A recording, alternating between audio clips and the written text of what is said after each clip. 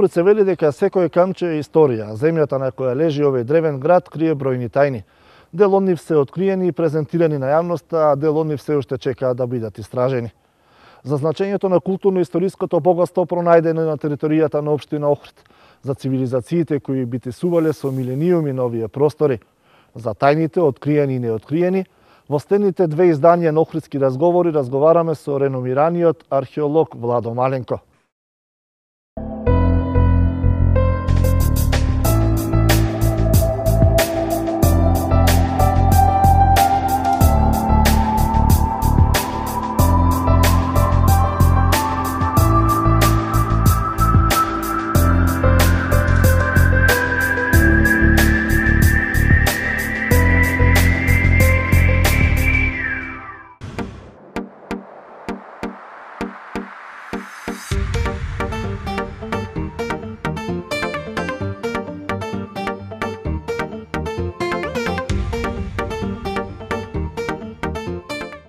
Таните на Охрид со години, со децении, се предмет на истражување на археологијата, на еминентни археолози, меѓу кои спаѓате и вие, со богато искуство. Сведок сте на многу историски настани и откритија. Археологијата е таа која ни сведочи што се минало низ цивилизациите, низ милениумите тука на, на ова подраче. Што таа досега ни, ни презентирала? Па видите, Вие убо кажавте дека археологијата сведочи за нашето минато, за материјалните богатства на сите популации кои што живеле и твореле на овој, на овој простор. Простор кој што е исконски и некако свето место, простор каде што имаме еден континуиран развој на живот од преисторијата, раскошната антика, бурното средновековие. Археологијата како наука, која е фундаментална и мултидисциплинарна, и што е многу важно, фактографска. Викам фактографска затоа што таа од земјата, немиот сведок на сите времиња, не случајно нашите стари кажувале покрила земја,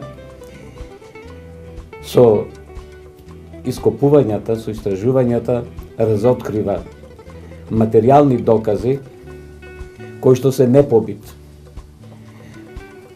за кои што резултати, научни стозања не се потребни романтичарски пишувања, него фактографски докази.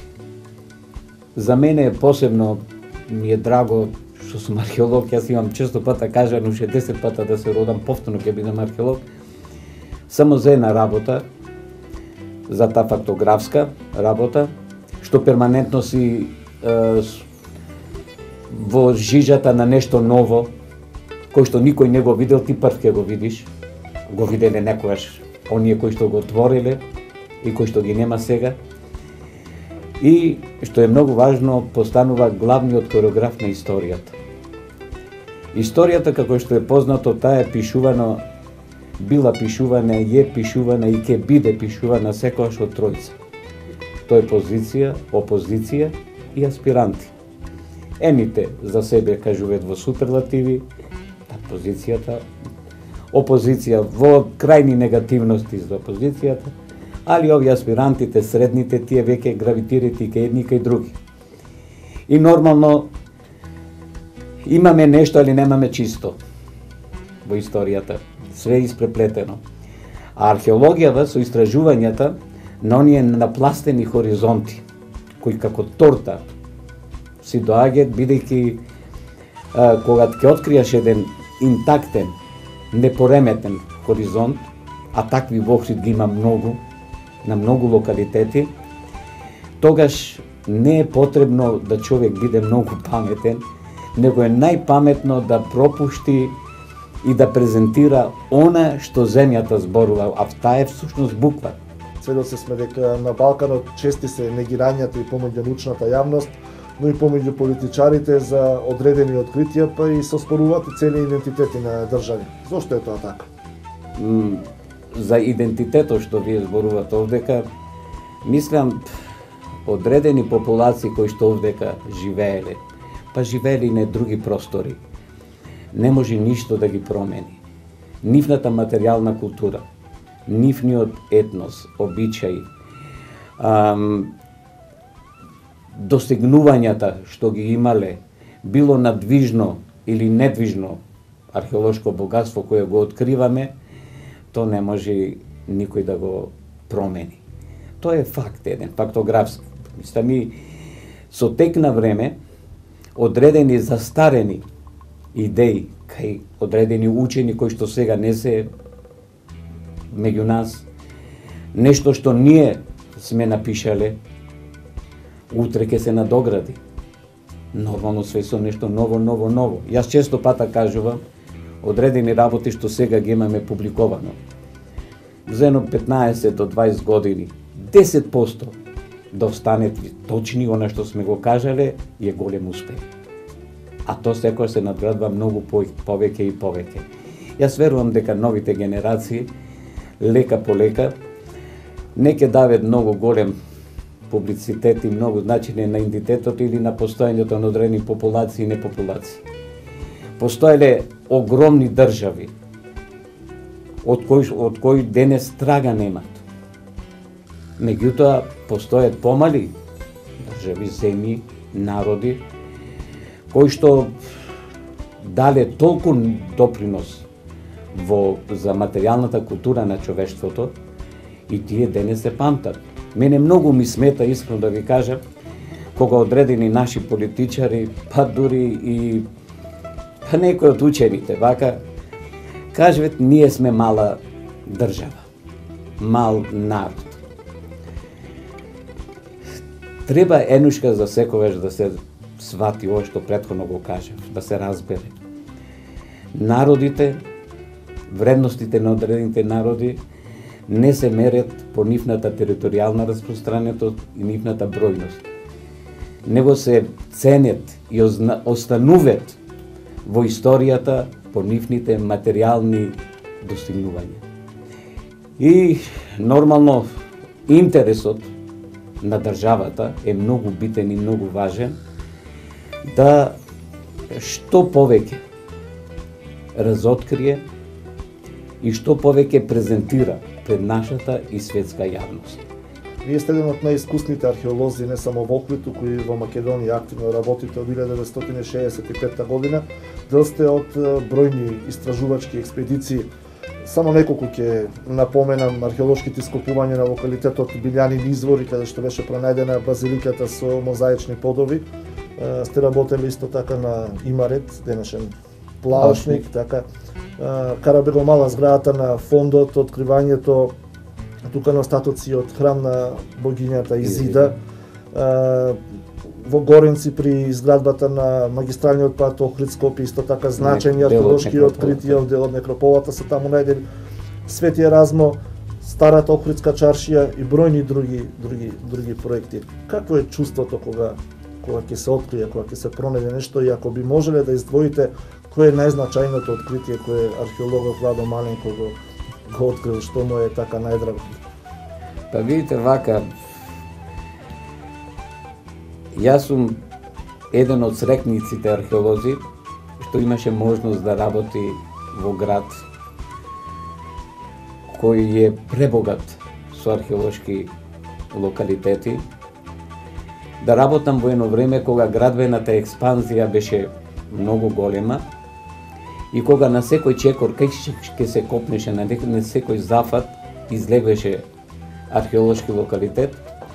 И нормално вработен во Завод за заштита спомници на култура, сконо законските прописи, се вршеа стопирање на работите, заштитни сондажни археолошки ископувања и се направи степен на категоризација на вредност на наотите. Така до нута категорија немаше понатака, не можеше да се гради тој објект. Или можеше да се гради тој објект со дел да се вклопи во ново изградениот ова старото што ќе го откријавме, така да добивавме атрактивни локалитети и ново изградени објекти. и нормално локалитети каде што ќе истражувавме, ќе испитевме, ќе документовавме и дававме дозвола да може и понатака да се работи. Многу тешко прашање од овие сиве локалитети, пео го заборивте античкиот тата, да. на пример. Тоа е едно, исто така еден од најмонументалните објекти, Охридската тврдина и сето тоа. Локалитетот Дебој, каде што се откри Лихницката некропола, која е толку богата со гробни прилози и е меѓу редките некрополи, не само на нашиве простори, него многу пошироко, во која што може да се прати ден континуитет на сохранување од петиот век пред наша ера до петиот век од наша ера. Значи, еден милениум. На тој, на та некропола, во ранохристијанскиот период, изградена е ранохристијанска базилика, од типот на оние гробјанските базилики. И над базиликата имаме сега средновековна некропола, која што датира негдека од 12-тиот, 13-тиот век, све до 14-тиот, 15-тиот, кога веќе после 15-тиот век тука на Дебој доаѓаат веќе касарна и турската војска е тука сместена. Античкиот татар не треба многу да се зборува, за него многу сме зборувале, меѓутоа, за жал, се уште не е дооткриен.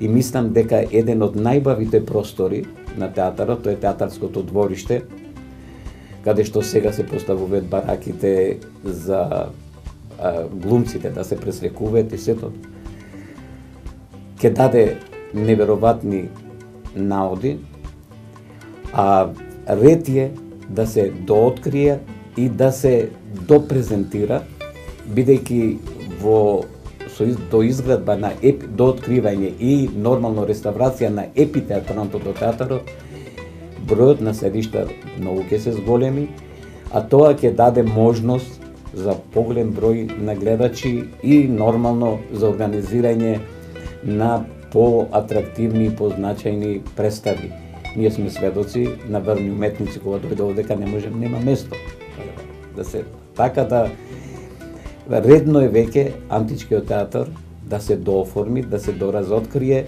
бидејќи се наоѓа на едно од најфреквентните места на градот, а што е многу важно, веќе отпочнува со на нашата основна замисла. Да не биде тоа музејски експонат, него да тој си добие своја ревитализација, свој живот и да биде објект она за што е и направен, за што и служел порано. Потоа старата чаршија. Старата чаршија е своја приказка. Во нејзе доста локалитет, мислам на многу простори што откривме наоди, зборуве повторно за еден континуитет на протегањето на Лихницката некропола, од хеленистичко, римско и доцнантичко време, постоење на преисторија, каде ше откриено железното време, керамика од железно време и бронзанодопскиот период.